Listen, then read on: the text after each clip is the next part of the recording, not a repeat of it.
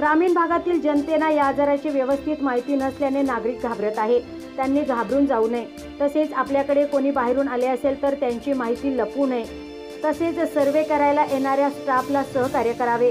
त्याचबरोबर गैरवर्तन करू नये आणि सगळ्यांनी आपली काळजी घ्यावी असे सलाबतपूर प्राथमिक आरोग्य केंद्रातील डॉक्टर प्रिया कर्डिले यांनी कोरोनाच्या पार्श्वभूमीवर महाराष्ट्र न्यूज टेनने घेतलेल्या मुलाखतीत म्हटले आहे. पाहुयात. कोरोनाच्या पार्श्वभूमीवर प्राथमिक आरोग्य केंद्र सलाबतपूर येथील डॉक्टर प्रिया कर्डिले यांची महाराष्ट्र न्यूज टेनने घेतलेली मुलाखत.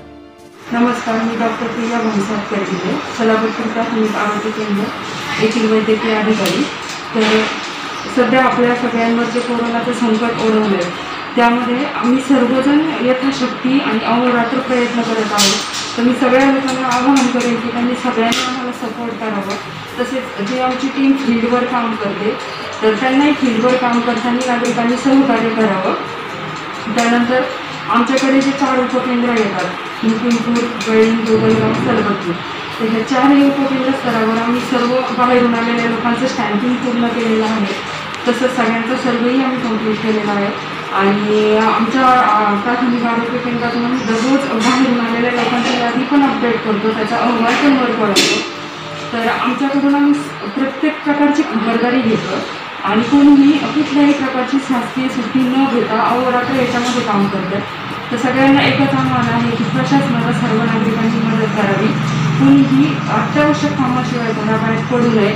तसेच कोणाला सर्दी खोकला घ्यायचा असा त्रास होत असेल तर त्यांनी स्वतःच्याही घरामध्ये सगळ्यांपासून एक थोडंसं बाजूला राहावं. जेणेकरून घर घरातल्या इतर लोकांना पण त्याचं इन्फेक्शन होणार नाही. आणि आपली इम्युनिटी वाढवण्यासाठी प्रयत्न करावा तर इम्युनिटी कशी वाढवता येईल? तर व्हिटॅमिन सीयुक्त आहार आपण घ्यावा. फळांचा समावेश करावा.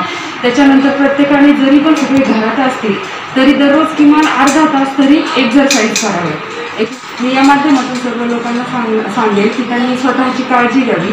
बाहेर आल्यानंतर प्रत्येकाने वारंवार आपले हात स्वच्छ धुवावे. सॅनिटायझरचा किंवा साबणाचा वापर करावा बाहेर फिरताना नाकावरती रुमाल रुमालाचा वापर करा.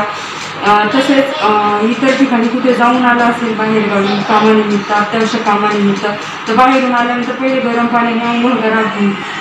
प्रवासामध्ये वापरलेले कपडे एकदम गरम पाण्याने धुवून घ्या. आणि उन्हामध्ये सुकून मगच ते परत वापरा.